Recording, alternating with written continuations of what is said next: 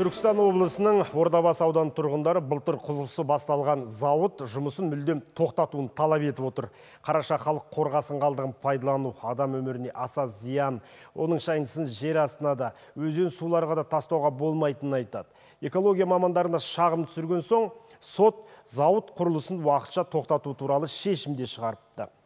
Алайда халықтың үнін естір әзірге құлақ болмай тұр дейді ашынған жұрт. Екі жарым мың үйдің 500 үйде қарсылығын жасап қол қойып облыстық әкіміне почта арқылы жіберіп жатыр ал бұл деген наразылығы жасаған адам ол келісім бермейді деген сөз. Ордабасылық тұрғындарды он жарым гектар жерді айнала қоршап қорғасын зауытының қалдықтарын қайта өңдеу зауыты құрылысы басталған сәттен оның адамға зияндылығы мазалай бастаған. Әсіресе қалдықтың шайынды суын жер асты суына жібереміз дегені жұртты шошындырған. Балқытады содан жаңағыдай керек заттарын алады да сөйтеді да қалған суды ана жаңағыдай охлаждение жасайды ғой. Сол суды қаяққа тағады суды шығарамайды ғой. Қайтып жердің астына жібереміз деген. Оны жердің астына жіберемін деген сол таза біткен нәрсе ғой енді. Мал заводымыз бар. Оның иісі деген халыққа вообще неприятно. Жасыратын ештеңе жоқ жара.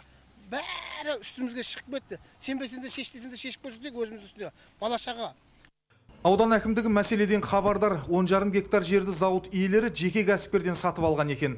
Қытай компаниясы төрт бүтін оннан сегіз миллиард теңгелік жобаға әкімдікпен меморандумға қол қойыпты. Жүз адам жұмысқа қамтылады деген. Алайда экологиялық зиян еместігін әлі дәлелдей алмаған көрінеді.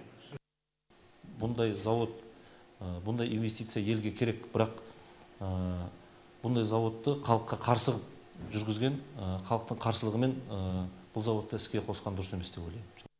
Наразылық бар жерде құрылыс тоқтайды деген билік тұрғындарды барынша сабырға шақыруда. Соған қарамастан халықтың көңілінде күмән әлі сейілмеген байқалады. Өйткені әлі дау бітпеген зауыт іске қосыла қалған жағдайда химиялық қалдықтан төңіректегі мекендейтін жалпы саны 30 мыңға жуық тұрғын зардап шегуі мүмкін деп отыр. Ерлан қуандықов ержан сейдәзімов информбюро түркістан облысы.